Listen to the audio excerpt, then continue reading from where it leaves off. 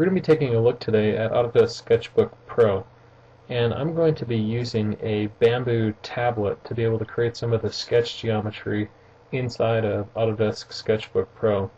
There's a variety of different sketch tablets that are available on the market today. Some of these can be purchased, specifically the bamboo can be purchased from Wacom, as well as a variety of other different types of tablets. Going to be using this to create some of the sketch geometry inside of Autodesk Sketchbook Pro today. You'll notice the easy heads-up user interface inside of Autodesk Sketchbook Pro. Uh, Sketchbook's going to allow me to create some conceptual designs, uh, in this case, in this hotel room for furniture design that I'm working with um, here. So what we're going to do is I'm going to go ahead and start conceptualizing some ideas Sketchbook Pro allows us to work in a layered format, so we can actually sit down and start to visualize, in this example, uh, the plasma TV stand or the or the um, uh, the table that I want to design within this room constraint. Sketchbook Pro allows me to create, for example, this straight line geometry using a ruler. There's a variety of other different types of tools that allow me to create different types of ellipses and other geometry. Using keyboard shortcuts I can do things like create straight line geometry so I can very easily uh, line up components and create this these conceptual designs much faster uh, than in uh, maybe other uh, paint or diagram tools um, from our competition. Now I'm going to be able to sit down and very easily create these different designs. So I'm going to spend some time uh, generating some of the overall geometry inside the interface.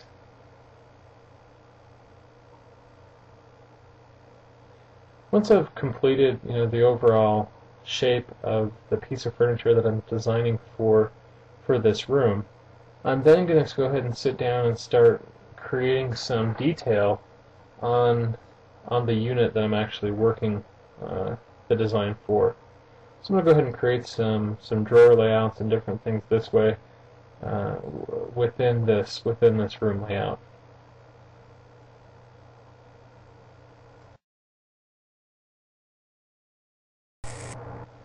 Once I've generated these, these different drawers uh, in this design, I'm going to go ahead and start applying some different color variations. So very easily I can go over, my, go over to my color tablet, grab different variations, start to perfect or, or design the conceptual components or the conceptual colors that I want to use possibly for this design and start to visualize what um, this stand is going to look like in the room. So very quickly I can come up with multiple conceptual designs for this room layout. Now the nice thing is I'm working in a layered format, so I can turn off specified models or turn those back on.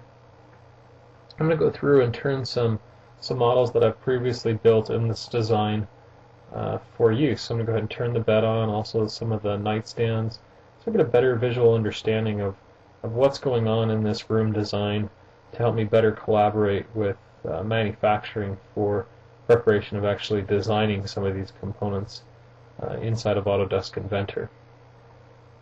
I'm going to go ahead and create some additional detail as well. Maybe I want to put some of the, the wood floor models inside of this design so I get a better idea or understanding of what's going on. I have full ability to control the brush layout um, inside of Sketchbook Pro so I get a better understanding and conceptual model of exactly what's going on. So I'm going to go ahead and just quickly generate some of these these designs to to represent some of the wood floors in this room so I get a color depiction of exactly what's going on.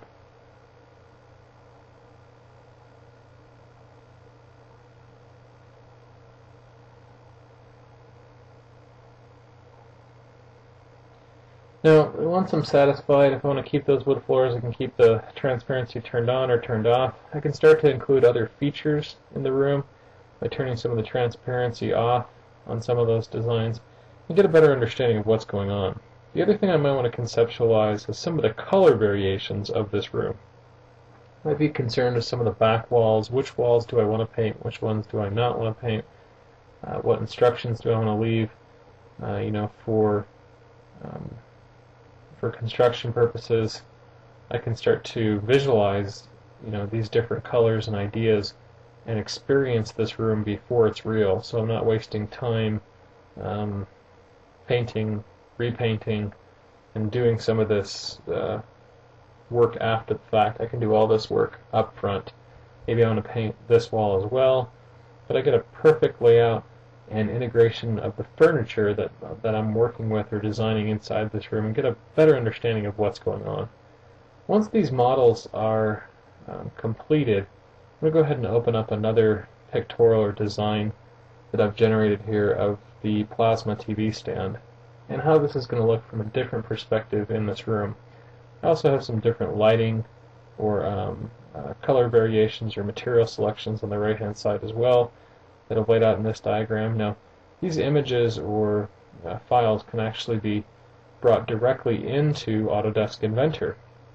And inside of Autodesk Inventor I can take these two-dimensional sketches or layouts and start to integrate these with 3D design. So I can start to extrude or actually build the furniture as is. So I understand how this furniture is going to be designed in relation to the original two-dimensional conceptual sketches. So I'm not losing you know, geometry or design characteristics within my model.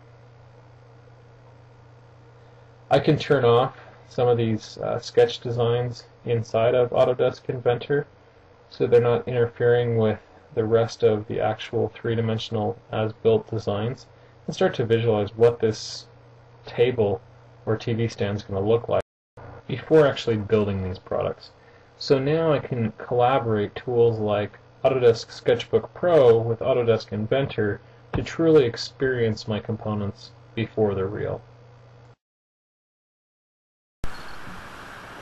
So, Autodesk Inventor allows me to take information that's been created inside of Inventor and pass that information over to Revit. So I can simply take this model and pass this over to Revit. So I'm going to go ahead and place a new user coordinate system to define how this should be laid out inside of Revit. I'll go ahead and export this information. If I want to shrink wrap it, I have the capabilities to do that. I'll define that this is a piece of furniture to be used so that the uh, center of gravity, the mass, the different properties that I want to related to a piece of furniture are going to come across properly into Revit as a piece of furniture. I'll go ahead and define this out, save this off using my BIM exchange tool inside of Inventor. It's going to save it off as an, in an ADSK format. So that's the uh, file type that Autodesk uses to exchange data between Inventor and Revit. And I'll simply go ahead and open this, this model up inside of Revit. So I'll go ahead and browse off to the file location where I just saved off this room layout new file.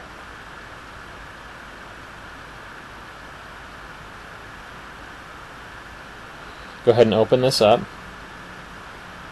And it will go ahead and load this model directly into Revit. So um, the actual geometry and everything as I built it inside of Inventor is now clearly come across into the Revit interface. So there's a seamless interface between the two products.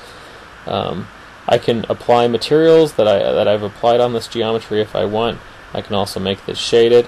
And you know, once I'm once I'm happy with the, with the the products that have been loaded into Revit, I can simply load that into the existing project and go ahead and place that where I want it inside of my model. I'll go ahead and place it there. I'll define the rotation angle and other things that way. But now I've completed my full integration into the Revit interface and it's just that simple.